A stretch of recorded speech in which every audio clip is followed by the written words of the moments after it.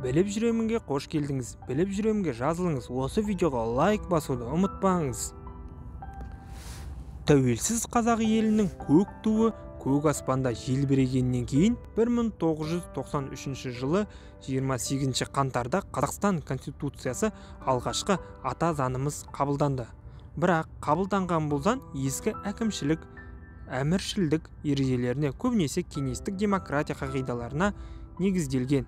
Жаңа қоғам өмірінің талабына жауап бере алмады.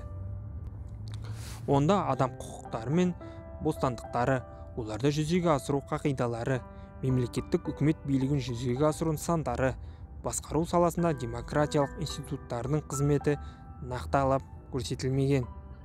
Сол себепті 1995 жылы 30 тамызда бүкіл халықтық референдум арқылы қазіргі қолданылып жүрген ата заңымызды қабылдадық.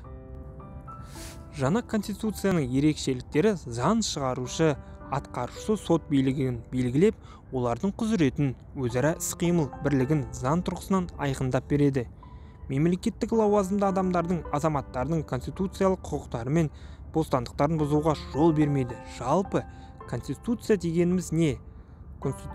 Конституция латыншадан аударғанда құрылыс деген ұғымды береді. Бұл бір мемлекеттің өсіп өніп тереңге тамыр жайып әділетті елде әділдікпен өмір сүріп өркендеуінің белгісі яғни құрылысы. Өміріміздің тыныс тіршілігіміздің ел болып бірігіп мемлекет құруымыздың онда өмір сүруіміздің тура жолы. Конституция мемлекеттің оның ішінде қоғамның тынысын реттейді. Мемлекет қоғам әрдайым заңсыз болған емес. Сондықтан адам үшін маңызды заңның бірі ата заңымыз конституция. Конституция бүгінгі күн мен болашаққа арналып жазылады. Конституциясыз мемлекет тіршілік жүргізе алмайды ата заңсыз мемлекет болмайды. Конституция тірек заңымыз ал осы заңның негізінде басқа заңдар қабылданып тармақталып жатады. Мемлекеттің болашағы тағдыры қабылданған конституция қағидаларына байланысты. Сондықтан ата заңда конституцияны құрметтеу тәртіпке бағыну қажет.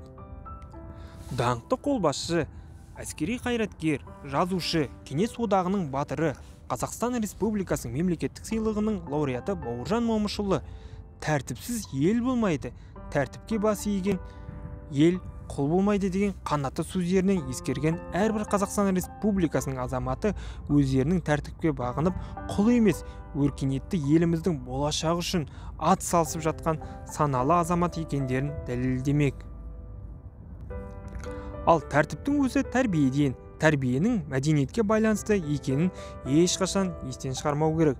Осы орайда жыл санап ел азаматтарының құқықтық құқықтық мәдениетін жоғарылату жолында іргелі жұмыстар атқарылуда. Біліп жүремге жазылыңыз лайк басыңыз өтініш сіздерден.